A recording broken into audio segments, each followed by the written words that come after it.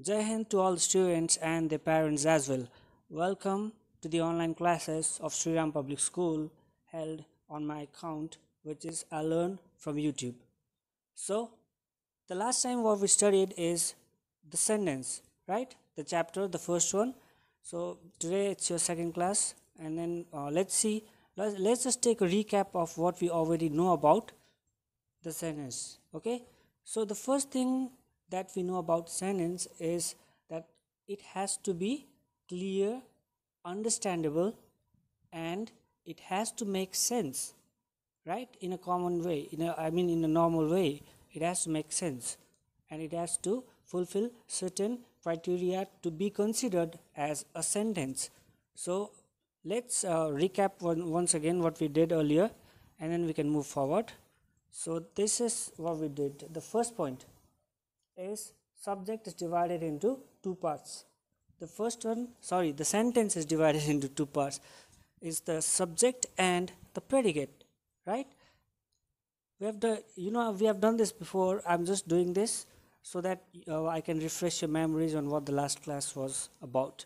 So, yeah, get back to it. Subject and predicate.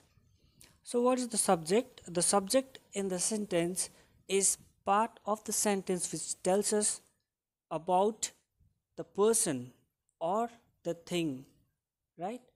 Whatever he or she or whatever it is doing. So the subject is someone who's doing something or who we are referring to. Alright? Then there might be a man sitting over in a corner of the street doing nothing. Okay.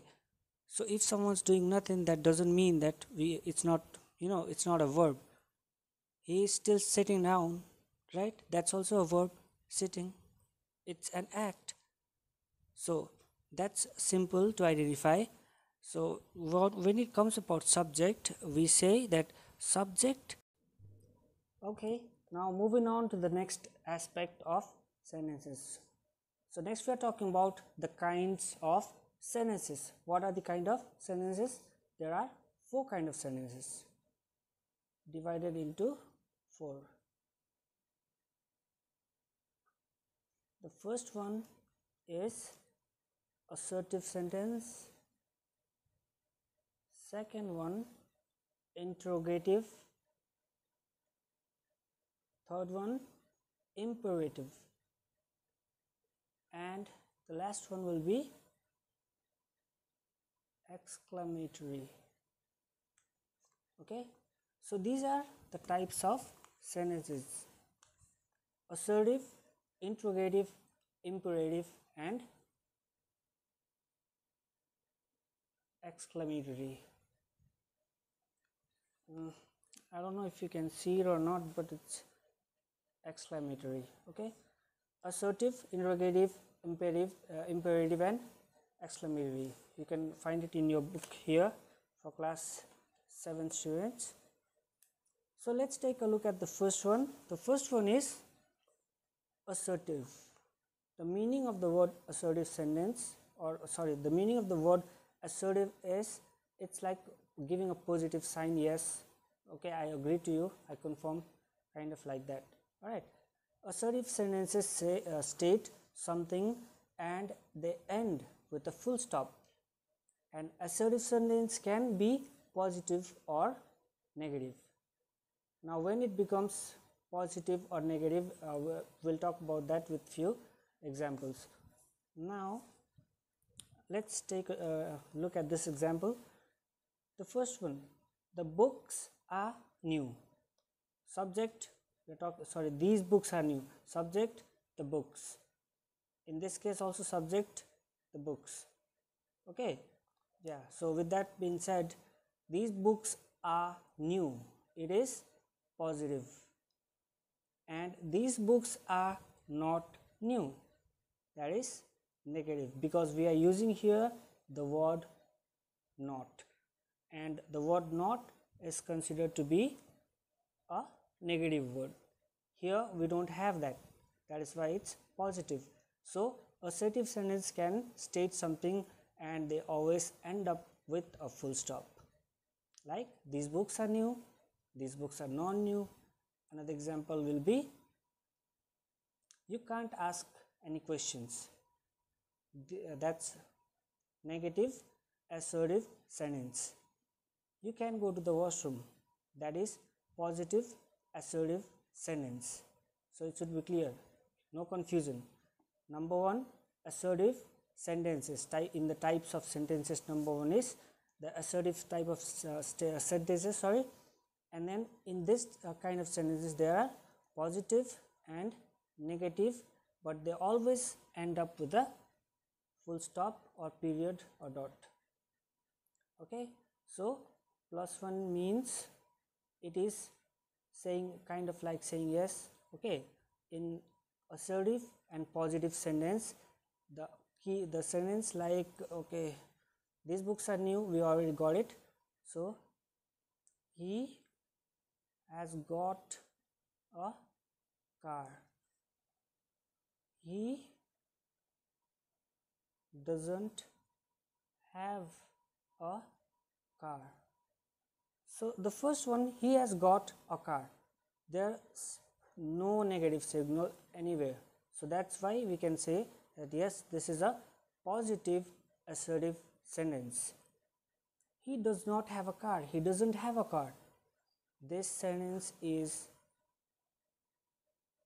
okay this sentence is negative assertive sentence. Negative because we are we can see the use of the word not. He doesn't have a car. That means it's a negative imperative sentence. The second type is interrogative sentence So what happens in these kind of uh, sentences are interrogative the word itself means asking questions finding data through questioning. That is what is called interrogation. So interrogative sentences are those that end up with a question mark when you are asking for something. All right for example Mm, okay no no not this one. Not when you are asking for something. This question mark can be used in simple examples like here uh, for the first one that I said. Do you go to the gym? Do you go to the gym? A simple sentence right okay let's uh, do the subject verb also uh, subject uh, verb agreement and then let's also do subject and predicate. So let's what is the subject here? Do you go to the gym? The subject here is you. And go to the gym is the predicate. Easy? We have done that before and we'll keep doing one keep on it. No mistakes start with the positive I mean capital letter and with full stop question mark or an exclamation mark. Yeah so moving forward with sentences and these kinds of sentences. Interrogative sentence means the sentence is asking a question. Here the sentence says do you go to the gym? Question mark. Because it's interrogative. Interrogation. Asking people. All right to get something in knowledge. Yes questions and wh questions. Yes questions are simple kind of questions. Do you like to read this kind of sentence oh sorry yeah this in this kind of sentence there's a positive response yes or a negative response no. So what do i mean by this kind of sentence with start uh, sorry what do i mean by sentences with yes or no? Do you like to read yes or no? This sentence directly has yes or no answer? So that is sufficient. Nothing more no, sorry nothing more to say. Do you like to read? No. Do you like to read? Yes. Sufficient. Yeah? It makes sense. Obviously it makes sense. The answer it makes sense. Of, of course. Okay. So let's uh, take a look uh, at the example with wh1 wh questions like why? What? Because it's interrogative and interrogation. So always it ends up with question mark. Wh type of question is when did you come? Here you can see I've used WH so this one is okay so this one is WH kind of sentence right here. When did you come? Or where did you go? Or what are you doing? All have interrogation uh, sorry inter a question mark at the end. So we can say that this is an interrogative sentence. Now moving on we have imperative sentence. Imperative sentences are those sentences which give orders advice commands or make request. Okay? So this type of sentence imperative sentence what it will do is orders advice commands or make request when you are ordering something when you are getting an advice or giving an advice when you are commanding someone commanding someone to exactly do this do that okay.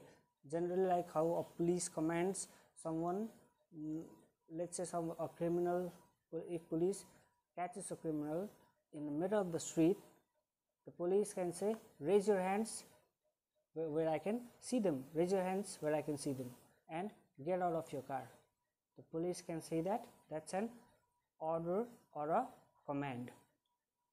That means he has to get out of the car. There's no other options. So you can you can say that it's a command type. So in advice type uh, what you can say is um, your doctor. Okay the doctor might say avoid eating junk food. It's not good for you try to have uh, more fruits and vegetables. It's a piece of advice from the doctor. So that is imperative when you are making requests. May i drink water?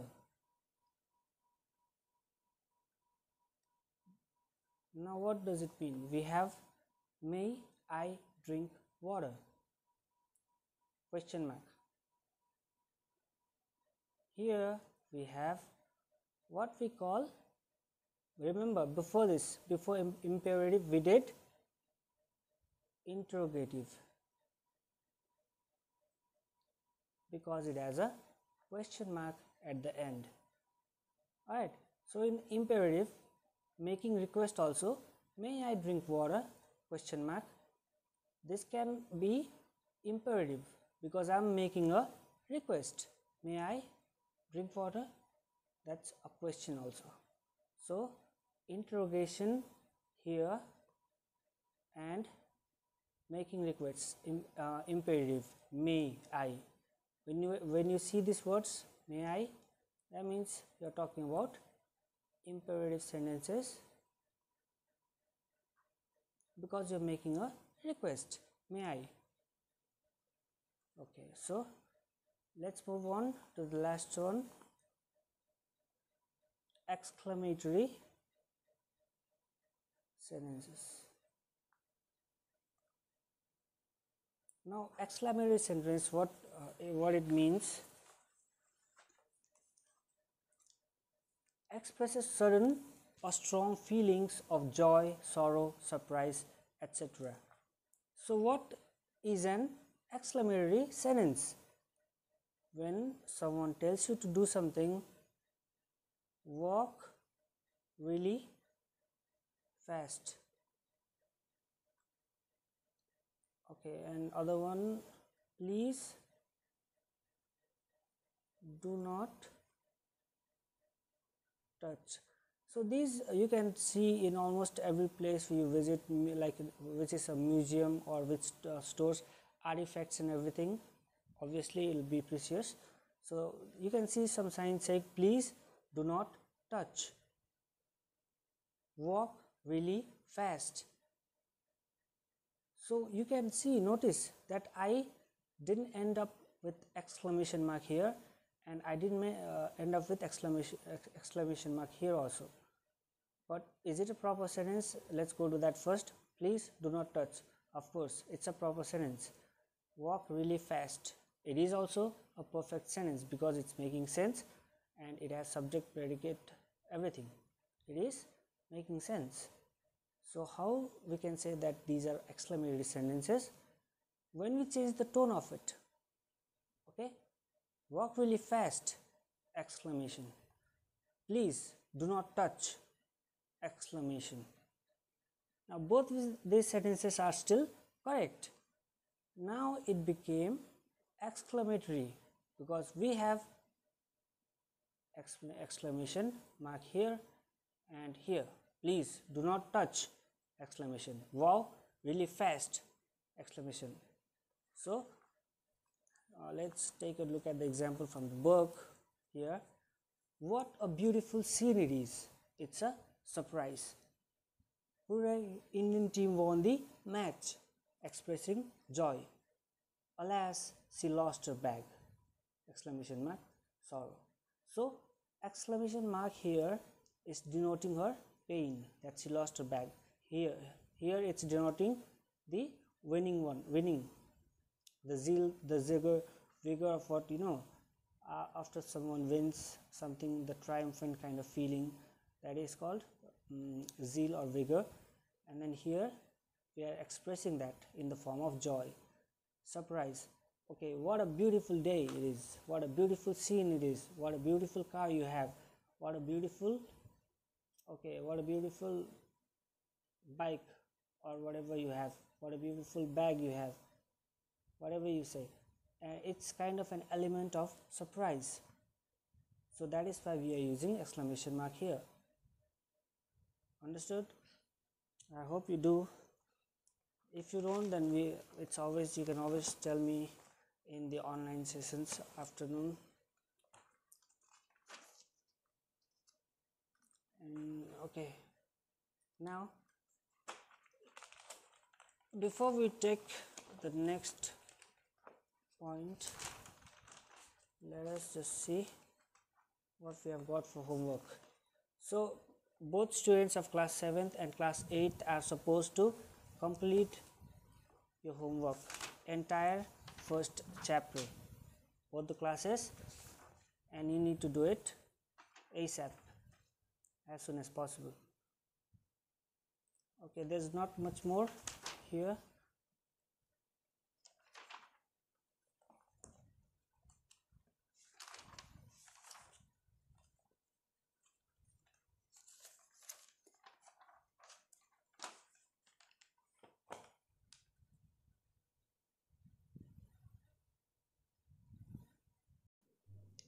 okay now uh, further uh, the students of class 8 please focus. The, uh, the students of class 7 you are requested to do all the homework complete it in your book with a pencil. All right don't use a pen and don't mark anything. Use a pencil and then write all the answers. So continuing yeah with class 8 so we already talked about subject and predicate in a sentence right so going further into that, a subject may consist of one or more than one word. Examples The girls are dancing. The girls in blue dresses are the winners. The girls. That means more than one. If it was the girl is dancing, then it would be singular. Here also, the girl in blue dress is the winner. If it was like that it would be 1 so more than one. The girls in blue dresses. One, two, three, four, five. Five words. Here we have girls. The girls are dancing. Two words. So the subject can constitute one word or more than one word. Okay.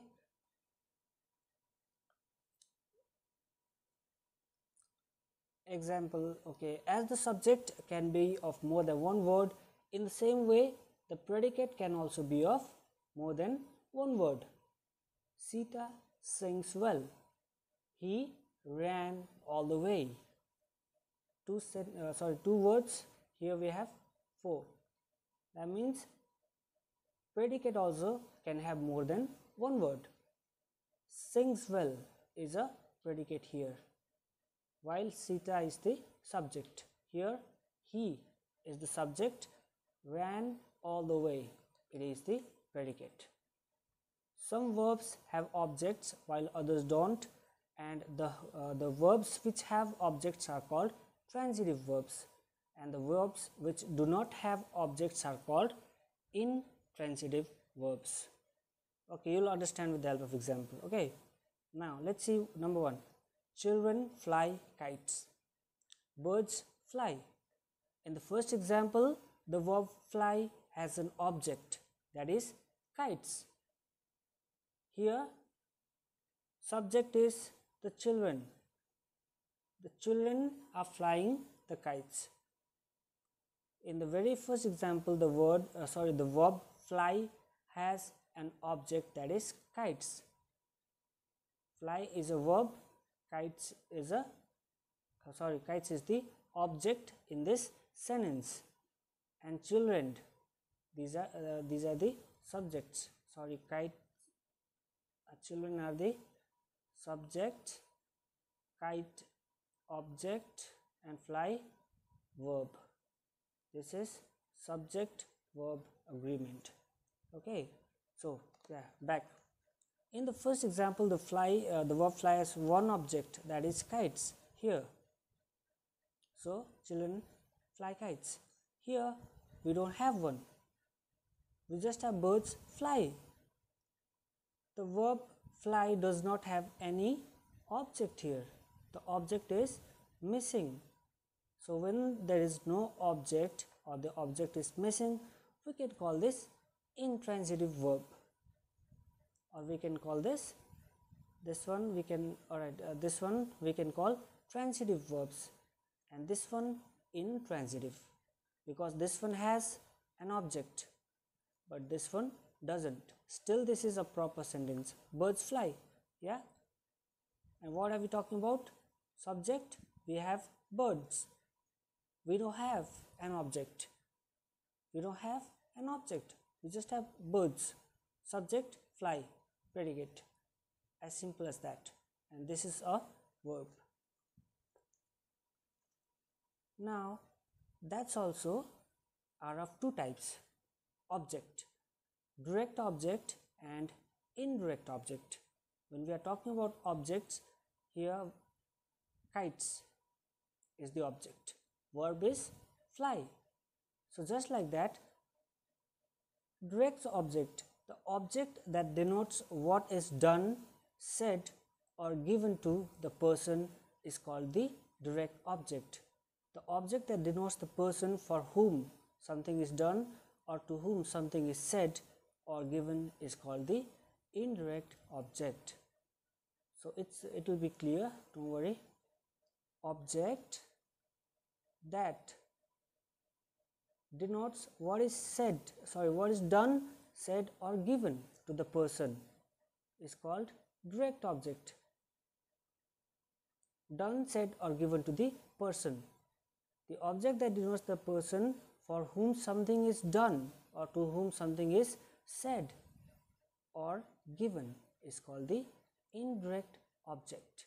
Let's uh, let's make it clear with an example. Harish got a gift on Diwali. My friend gave me a gift on my birthday. In the first example, the sentence has only one object, a gift.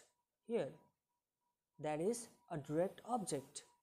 Harish got a gift on Diwali. The second, uh, second example, the sentence has two objects. The first object, me, is indirect as it talk, uh, talks about a person to whom something is given. The second object is a gift. because it is uh, so it is direct as it shows what is given to the person. So here direct object and indirect object. First one a gift. It is definitely clear that uh, it's indirect as it talks about a person to whom something is being done. My friend gave me a gift on Diwali. The second object gift is direct as it shows what is given to the person. Understood? And here the indirect object can come after the direct object in a sentence but we use to before the indirect object in such case. My friend gave a gift to me on my birthday. Sometimes we need a wrong a word or a group of words to complete the uh, sense of the object in a sentence some words are called object complements. Example, the principal made Rohit captain. This is also a complement, right? The principal made Rohit captain. What is being done? Making a captain. Who is doing that? The principal. To whom? To Rohit. Everyone proved him guilty. Who did it? Everyone did what? Proved him guilty. So here in the above examples, the highlighted words are the object complements. Without these complements, the meaning of the objects Rohi and him is incomplete. So when if I say the principal made Rohit, it will not make sense. It will not be a complete sentence. Everyone proved him. Proved him what? Proved him guilty. So you can see these all this marked. Okay captain guilty object complements rohit and him. Here highlighted words are object complements because it is associating it is complimenting. everyone proved him guilty? The principal made rohit captain. There is a gesture being made something is being done. Here also there is a gesture being made something is being done. Everyone is proving him guilty. Principal sir is making rohit the captain of the school. So this is how it does. Sorry how it goes in that regard types of sentences we have already done. So i need you to do this uh, 1.1 clear it out. Clear this one also. This one too will be your homework. So the entire chapter it's over.